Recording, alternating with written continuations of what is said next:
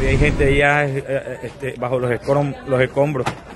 Esto está, mire, todo, todo, quedó destruido, destruido totalmente. El más reciente reporte entregado por las autoridades de salud local indica que de los 44 pacientes atendidos por afectaciones en el desplome de la estructura en la casa Hotel Riascos en Valledupar, cinco permanecen hospitalizados en centros asistenciales de la ciudad, de los cuales una mujer fue pasada en el Hospital Rosario Pumarejo de López, bajo pronóstico reservado. Jaide Medina Calderón, secretaria de salud local, informó que en la clínica alta complejidad de Valledupar se encuentra José García, de 24 años de edad, con un seguimiento por neurocirugía, y ayer sería sometida a una cirugía, además de Luis David Recuero con trauma raquimedular. En la clínica Laura Daniela, sigue bajo observación médica Diana Nieves, con trauma raquimedular, y su condición es estable luego de haber sido sometida a una intervención quirúrgica. Asimismo, María Concepción, de 61 años, con múltiples fracturas. En el Hospital Rosario Pumarejo de López está Nolis María Carrillo, con pronóstico reservado ya que venía de estar en habitación y fue fue pasada a la UCI en las últimas horas. En el grupo empresarial Carpio,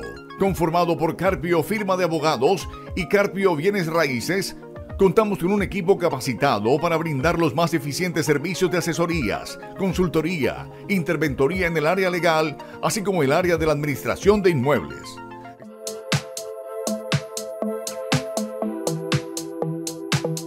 Contáctanos al 316-666-1017.